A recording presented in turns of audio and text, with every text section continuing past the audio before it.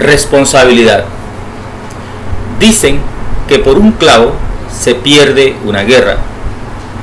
Así que todos son responsables, desde el líder, la cabeza más alta de la empresa, hasta la persona que reparte los tintos. Todos llevan el mismo grado de responsabilidad en la empresa.